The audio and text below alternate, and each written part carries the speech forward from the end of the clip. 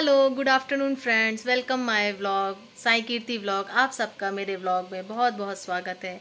I hope कि आप सब स्वस्थ होंगे, तंदुरुस्त होंगे, हंसपुष्ट होंगे, मेरी तरह, जो कि हम नहीं हैं।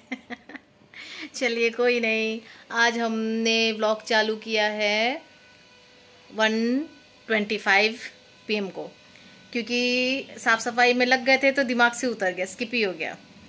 सवेरे याद आया था, फिर हम बोले पहले अपना काम निपटा लें। मोस्टली सब हो गया है, बस मंदिर के रूम का बाकी है। मोस्टली सब कंप्लीट हो गया है। मंदिर के रूम का बाकी है तो अभी हम झाड़ू कर रहे थे, जो बच्चा खुचा कचड़ा है, सफ़ाई में निकला है, वो झाड़ू करके निकाल रहे थे।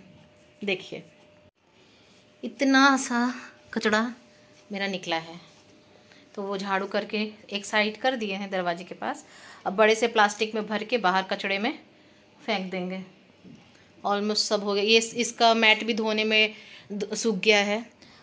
ये तकिया कवर मतलब ये कुशन कवर तो बाद में धोएँगे। मैट धो के सुखा दिए हैं। और मेरा बेटा ने किचन का खिड़की, ये सब खिड़की का कांच साफ़ कर दिया है। पंखा पंखा और ये झूमर तो मेरे हस्बैंड ने कर दिया। टोटली कंप्लीट हमने आज ये वाला, बोला था ना, इसको क्लीन करेंगे।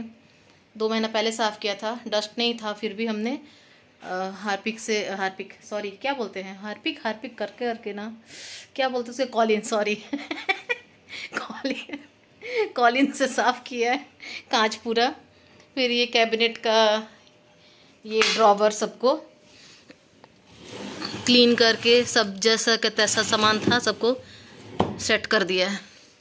ये धोने के हैं सारे भगवान का फूल है, झूमर है तोरण बोलते हैं ना, वो सब अभी कल धोएँगे इसको। थोड़ा सा लिक्विड में डोब देंगे, उसके बाद धो देंगे।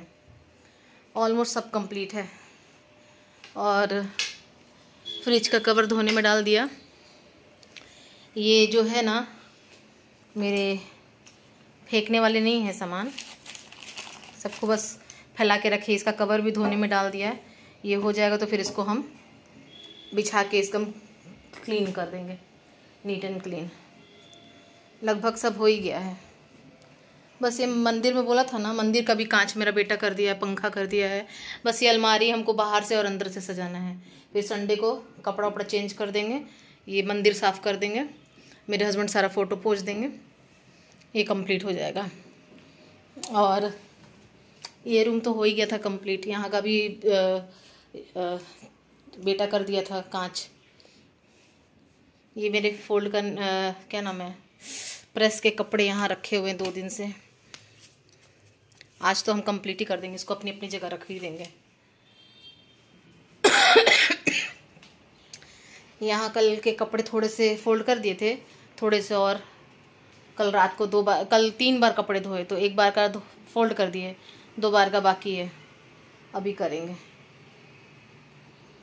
यहाँ पे लाइटिंग लगाना है तो ये सब प्लांट्स में जो मनी प्लांट्स है, उसको हमको बराबर तरीके से ये करना है, क्योंकि मनी प्लांट सब झूल झूल जा रहा है। तो ये सब में इसको क्योर करके बराबर बांधना है, क्योंकि एक के ऊपर एक कैसे उलझा दिया मेरे हस्बैंड ने सब, इधर का उधर, इधर का उधर।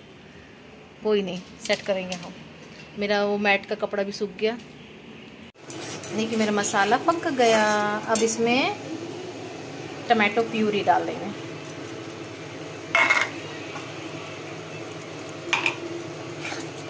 और इसको थोड़ी देर पकाएँगे, फिर सारा आइटम इसमें डाल देंगे।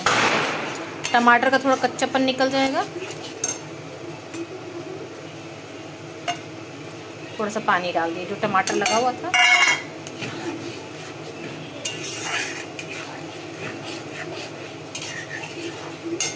इसी दौरान जो ये कसूरी मेथी है ये कड़क हो गया हम आँच के पास रखे थे, उसको ऐसे ऐसे करके देखिए। डाल देंगे।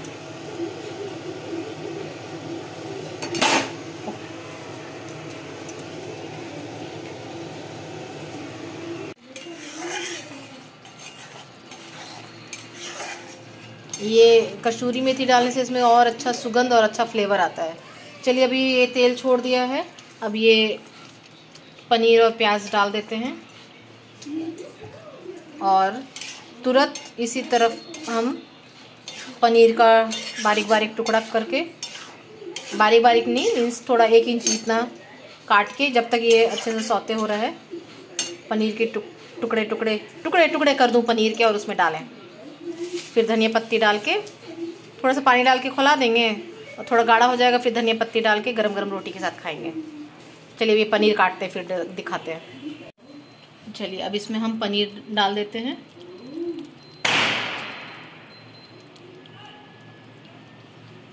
और इसको अच्छे से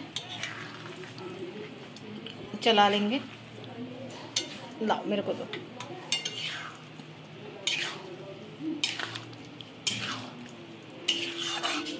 बस हल्का सा पानी डाल के थोड़ा इसको खतखताएँगे। ये एक उबाल जैसा आ जाएगा। उसके बाद ये खाने को रेडी है। ज़्यादा पानी नहीं डालेंगे, बस इतना ही। क्योंकि थोड़ा लटपटा चाहिए। चावल होता है तो थोड़ा ग्रेवी थोड़ा और करते बट रोटी के साथ खाना तो इतना काफ़ी है। खुशबू बहुत अच्छा आ रहा है।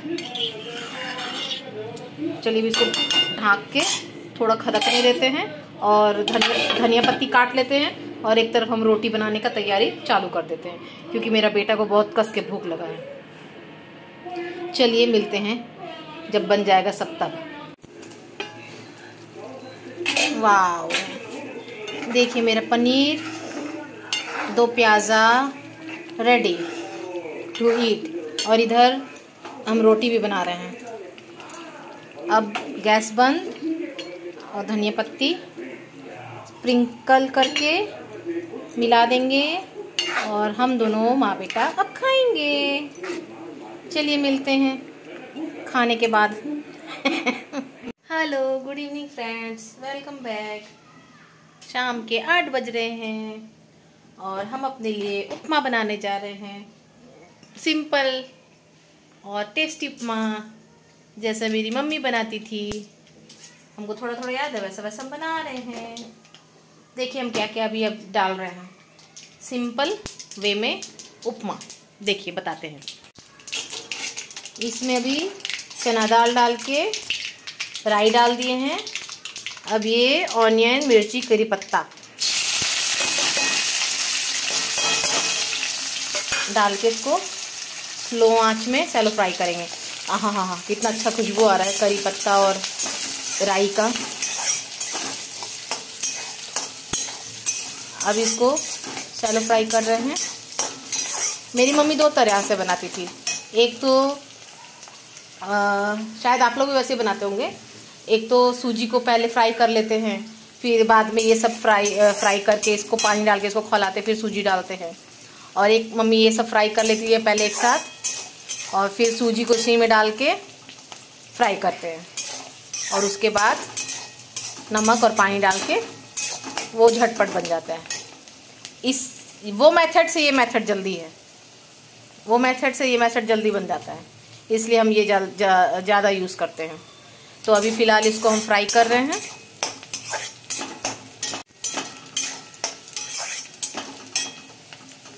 ये थोड़ा सा प्याज, हल्का सा कलर चेंज कर लेगा। तभी हम इसमें सूजी डाल देंगे।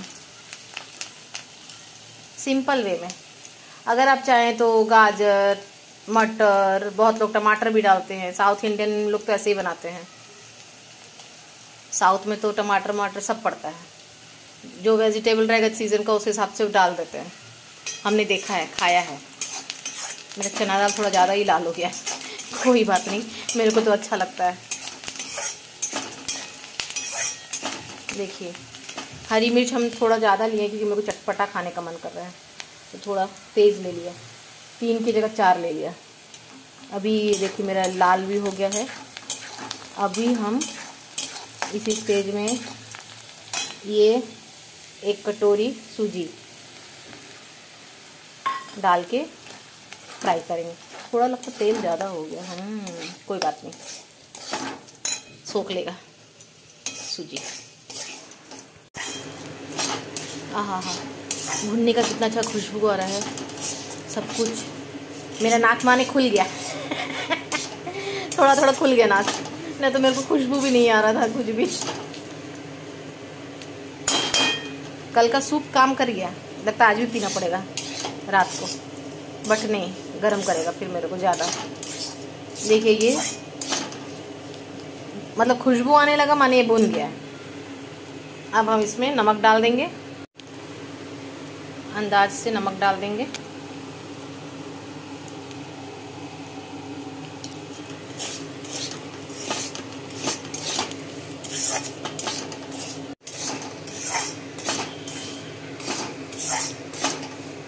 गया काफ़ी देर से भून रहे थे। अब यहीं पे पानी डाल के अंदाजे इसको तुरंत ऐसे से हिलाते रहेंगे जिससे कि गाढ़ा हो जाए।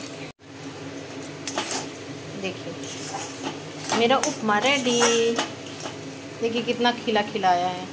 ये थोड़ा मोटा दाना वाला है, सूजी। एक महीन दाना वाला आता है और एक ये मोटा दाना वाला है।